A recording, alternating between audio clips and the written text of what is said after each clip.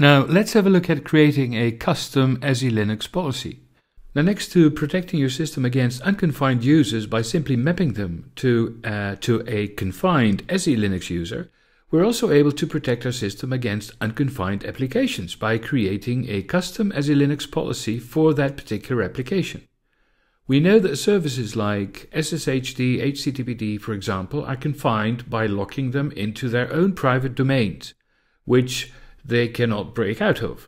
But what about a new application that you install? This will by default be unconfined.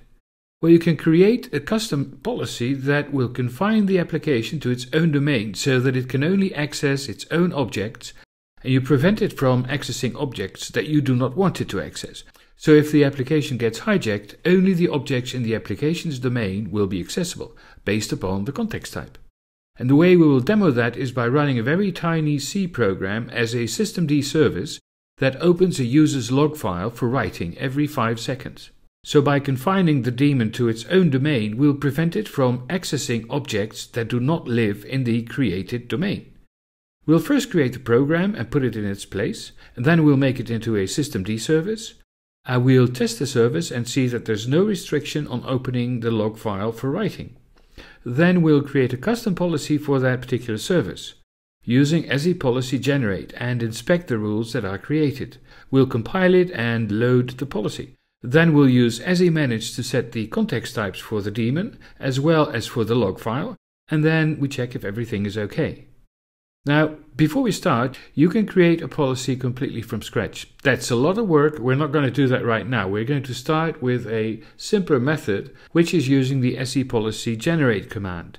And that will generate the necessary files, and then we run a script that will install the module so that we can start testing and we'll change it a couple of times to fine tune it and then we'll be done. Now I'm logged into my system, which in this case is Fedora, and first I create a user called myapp where we create a log file. Uh, so we create the log file in the login directory of myapp, and the context type is user underscore home underscore t. This is something we have to change later on. Now let's create a tiny C program that will become our service. And as I said, it's not going to be a very useful program, but it will suffice to demonstrate. So it will open the myapp log file for writing every five seconds, and that is all that it will do. So we save the file and compile it like this. And we copy it to uh, user local bin, and when we check the context type, we see that it's of the type bin underscore t, which is also something that we will have to change later on. Now to make this into an actual service, we create a unit file in libsystemd system and call it myapp service. This is also very basic, so we set the executable to myapp in user local bin, and when we stop the service, it will simply kill the process.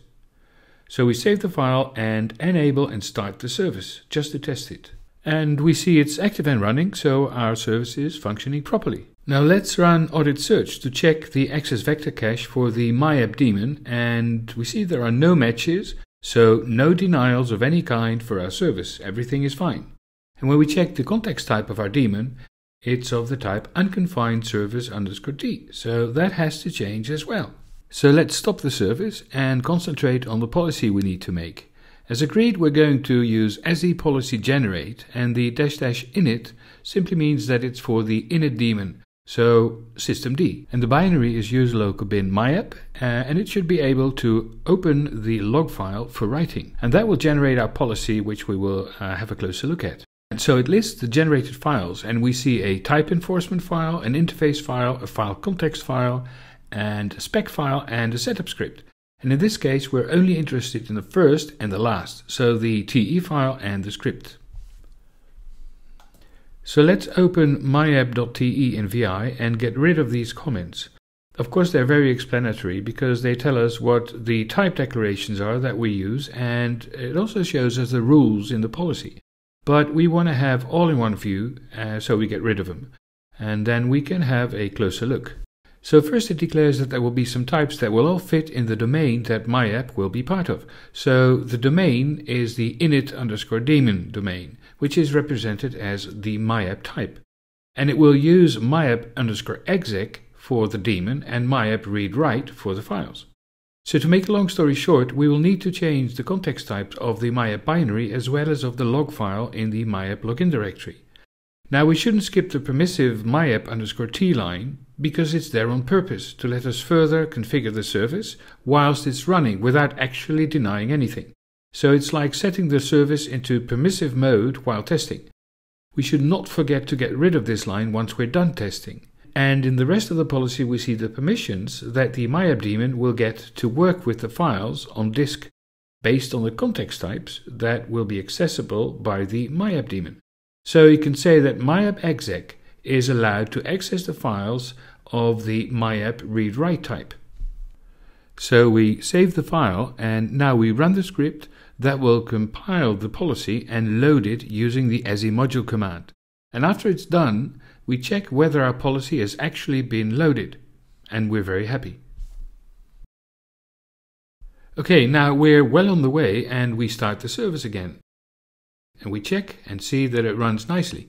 But keep in mind, we're running in permissive mode, so nothing is actually denied because of that. So let's run audit search again to check for denials. And lo and behold, there are denials. What it tells us is that based upon the discretionary access settings, so DAC read and search, our daemon is prevented from accessing the myapp login directory to get to the log file in there. So we could change the permissions on the directory to set it open, but we can also add a rule to the policy to make SE Linux ignore the permission settings. We can use audit2allow to see what these rules should be. And it tells us that we should use DAC read search and dir search to allow. The easiest way of doing that is by appending the output of the audit2allow command to the myapp.te file and then recompile and load again. We run the exact same command, uh, but now we append the output to the myapp.te file. And we check the file, and all the way at the bottom, uh, we'll see that there is these two rules that were suggested by audit2allow and we save the file again and recompile.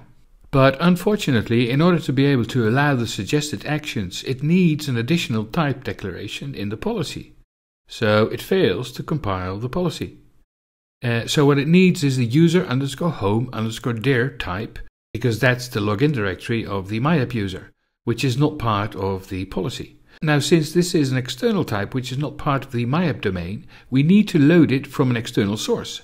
And we can do that by creating a require block that will load the type so that our policy can use it.